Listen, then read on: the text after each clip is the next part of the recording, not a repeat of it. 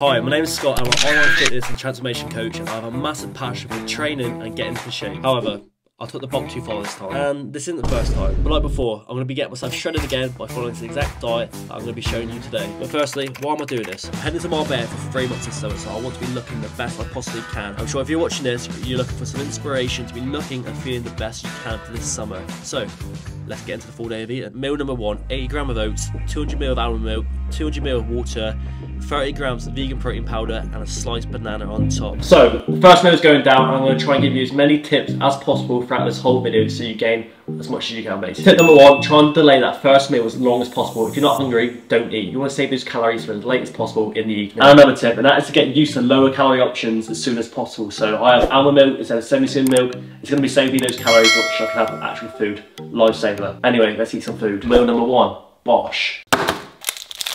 Meal two, aka snack number one, is a protein bar. Literally just tie me over in between work block and before the gym and before my main lunch. So yeah, Meal number three consists of 400 grams of potato, microwaves, seasoned with salt, pepper, smoked paprika, mixed herbs, and then put in the air fryer. Along with this, I have 200 grams of beef mince, also seasoned and then stuck in the air fryer and topped off with a load Absolutely of love this meal, and I'm convinced better than any chef out there. Not even joking you. Anyway, tip time, and you want to be eating as much food as possible for the least calories possible, aka volume. So basically, bulk your food up with veg, as much veg as possible, avoid the oils because that oil isn't going to fill you up compared to the veg because the veg is basically zero calories anyway. But anyway, time to eat and I literally can't wait to eat this. But yeah, in a second.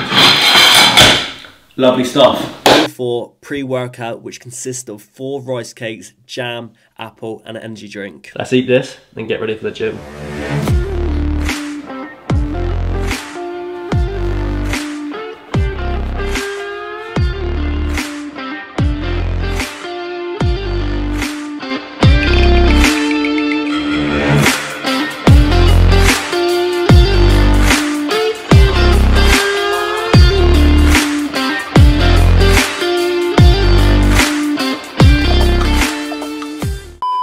Meal 5 and last big meal of the day 400 grams of potato, microwave, seasoned with salt, pepper, smoked paprika, mixed herbs, and then air fried. And then 200 grams of 7% turkey mince, seasoned, air fried again.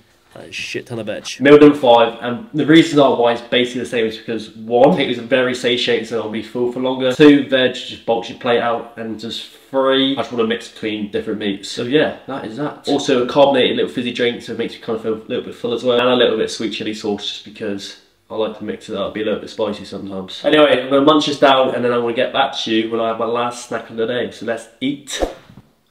Finish the evening off with a cup of tea and a protein bar. I normally have a Myprotein one, but I ran out, so I've got a grenade one, unfortunately. And that is my full day of eating wrapped up. It's so, so important to realise, though, that this is not what I eat every single day. It's just 99% of the time, not gonna lie, because sometimes I'll swap this protein bar out for a bit of chocolate, or I'll just take a little bit of potato out of my meals and get some chocolate then, because I'm not a robot, I like chocolate, I still like to treat myself. And it's so, so important that you don't restrict yourself on the diet, because as soon as you start restricting yourself, you set yourself up to fail. But if you do want some help with your training and nutrition on a build up to summer, I do have spaces available for my one-to-one -one online coaching. So follow the link below, apply it, and I'll get back to you as soon as I can. But for now, thanks for watching, and I'll see you very soon.